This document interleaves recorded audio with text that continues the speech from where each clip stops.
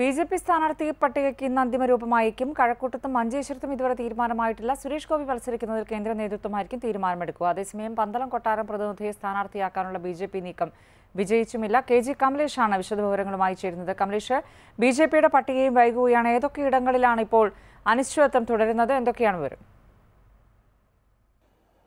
Rajani B J പിയുടെ നിർണായകമായ parliamentary board യോഗം നാളെയാണ് ദില്ലിയിൽ ചേരുന്നത്. ഇപ്പോൾ കേരളത്തിലെ മണ്ഡലങ്ങളിൽ തയ്യാറാക്കിയ സാധ്യതാ ലിസ്റ്റിന്മേൽ നാളെ പാർലമെന്ററി ബോർഡ് യോഗത്തിൽ ചർച്ച നടത്തിയ ശേഷമായിരിക്കും അന്തിമമായ തീരുമാനവും പ്രഖ്യാപനം ഒരുപക്ഷെ പ്രഖ്യാപനം മറ്റന്നാളത്തേക്ക് നീളാനുള്ള സാധ്യതയും തള്ളിക്കളയാൻ കഴിയില്ല. ചില സീറ്റുകളുടെ കാര്യത്തിൽ മാത്രമാണ് ഇപ്പോൾ അവ്യക്തത നിലനിൽക്കുന്നത്.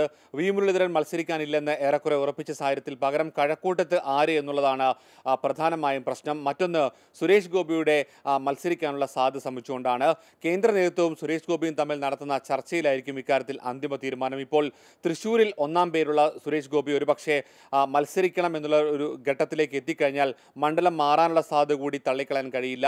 അങ്ങനെയെങ്കിൽ വട്ടിയൂർക്കാവിലോ തിരുവനന്തപുരം സെൻട്രലിലോ സുരേഷ് ഗോപി വന്നാൽ പോലും അത്ഭുതപ്പെടേണ്ടതില്ല. ഇപ്പോൾ നിലവിൽ വട്ടിയൂർക്കാവിൽ വി വി രാജേഷിന്റെ പേരാണുള്ളത്. സുരേഷ് ഗോപിക്ക് വേണ്ടി മണ്ഡലം മാറിയാൽ വീണ്ടും ഈ സീറ്റുകളിലൊക്കെ തന്നെ ചില മാറ്റങ്ങൾ ഉണ്ടാകാനുള്ള സാധ്യതയും തള്ളിക്കളയാൻ കഴിയില്ല. കേരളത്തിൽ നിന്നും തയ്യാറാക്കിയ സാധ്യതാ പട്ടികയിൽ വൈസ് പ്രസിഡന്റ് ശോഭാ സുരേന്ദ്രന്റെ പേരുണ്ടായിരുന്നില്ല. പക്ഷേ കേന്ദ്ര നേതൃത്വം ഇടപെട്ടുകൊണ്ട് ശോഭാ സുരേന്ദ്രനെ മത്സരിപ്പിക്കാനുള്ള സാധ്യതയും ബാക്കിയാണ്. അങ്ങനെയെങ്കിൽ കഴക്കൂട്ടത്ത് ശോഭ വന്നാൽ പോലും അത്ഭുതപ്പെടേണ്ടതില്ല.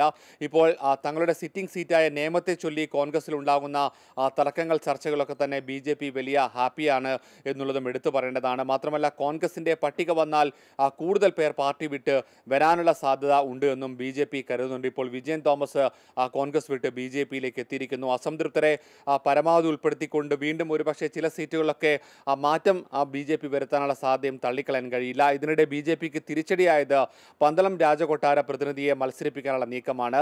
സ്വതന്ത്രനായെങ്കിലും മത്സരിക്കണമെന്നുള്ള ആവശ്യത്തോട് കൊട്ടാരം പ്രതിനിധികൾ അനുകൂലമായി പ്രതികരിച്ചില്ല. ശരി കമലേഷ്.